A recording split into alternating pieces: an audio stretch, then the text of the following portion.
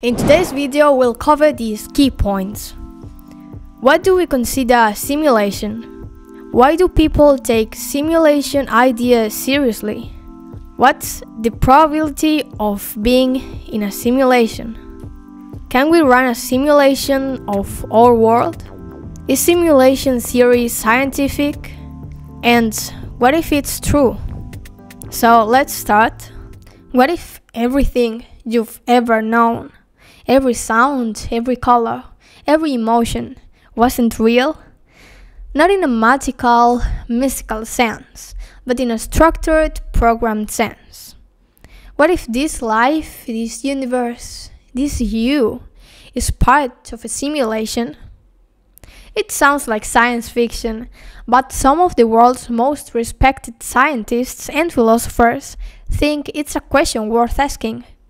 So today, let's explore the simulation hypothesis, not as fantasy, but as serious logical thought.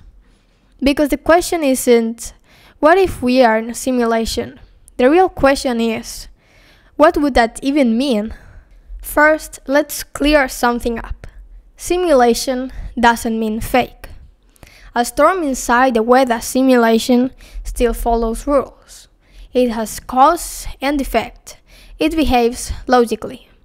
So, if our universe were simulated, it wouldn't be a dream or an illusion. It would still have physics, atoms, space, time. It just means everything we know particles, fields, space itself could be the product of a larger system running on something else. A deeper layer of code. Not magic, not myth, just logic taken to its farthest edge. So here's one reason people take the simulation idea seriously. Our universe seems weirdly perfect for life. It's what physicists call fine tuning. Just imagine if gravity were slightly stronger or weaker, if the electron had a different charge, if matter and antimatter had balanced just a bit differently, then there would be no stars, no atoms, no chemistry, and no us. And this isn't one fluke. There are dozens of constants, each set just right. So the question is was this luck? Was it selection bias? We only exist in the universe that happens to allow us? Or was it calibrated? Like code adjusted to output life? That doesn't mean there's a guy behind a keyboard but it does mean something unsettling. Maybe this universe is natural. Maybe it's running.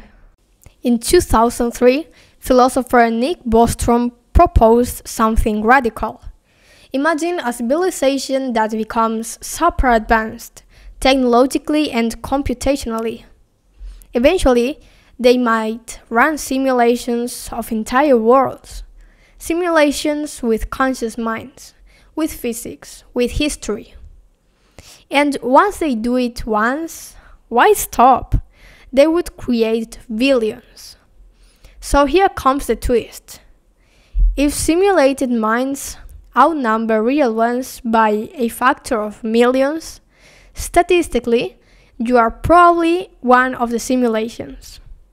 Not proven, just unsettlingly probable. Right now, we can't even simulate a single human brain.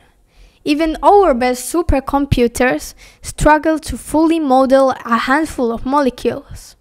Simulating a whole universe? Laughable. Why? Because the amount of data needed is astronomical. Quantum randomness is incredibly hard to fake. And space, whether continuous or digital, is vast beyond comprehension. So, if we are in a simulation, it's not ours. It would belong to a civilization billions of years ahead, with technology beyond anything we can imagine. Now, this is where it gets tricky. The simulation theory doesn't break any laws of physics. It fits neatly with relativity, with quantum mechanics, with cosmology. This means it's not unscientific. But here's the cut it makes no testable predictions. No experiment can prove it or disprove it. So it's also not science. At least not yet. It's something else, a scientific. Not against science, just outside it. So let's assume it's true that we are inside a simulation. Would that make your experiences less real? Your thoughts? Your emotions? No, because reality isn't about what something is made of. It's about how it feels, how it works. Whether it's built from atoms, equations, or lines of code. You still feel. You still ask questions. You still wonder. So maybe the point of this idea isn't to answer anything. Maybe it's to stretch the limits of what we are willing to consider. Because sometimes the best questions are the ones that break your brain.